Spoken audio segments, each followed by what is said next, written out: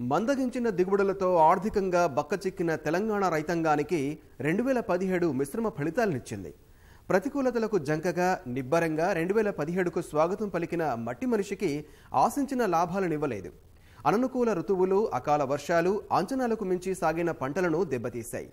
తొలకరికి ప్రేరణనిచ్చిన నైరుతి ఖరీఫ్ పంటకాలం చివర్లో పైలను అడ్డంగా ముంచేసింది. నింగిన విదిల్చి పునరుద్ధరించిన మిషన్ కాకతీయ చెరువుల్లో నింపింది. ఈశాన్యం స్తంభించిన జలకళతో యాసంగి సేద్యం జోరందుకుంది. రాయితీ పాలీహౌజులతో ఉద్యాన పంటలకు పందిళ్ళు వేసింది. మూడున్నరేళ్ళ తర్వాత యావత్ తెలంగాణలో రెండు పంటలకు పుష్కలంగా నీరందనుంది. అందుబాటులోకి వచ్చిన కొత్త సాగునీటి ప్రాజెక్టులతో అదనపు ఆయకట్లు సాగులోకి వచ్చాయి. అంతర్జాతీయ వ్యవసాయ ఉద్యాన కోళ్ళ పెంపకం సదస్సులు కొత్త సాంకేతికతపై అవగాహనను పెంచాయి. మొత్తంగా పర్వాలనిపించిన వ్యవసాయ నామ సంవత్సరం రెండు వేల పదిహేడు మరికొన్ని ఘడియల్లో కాలగర్భంలోకి జారుకోనుంది.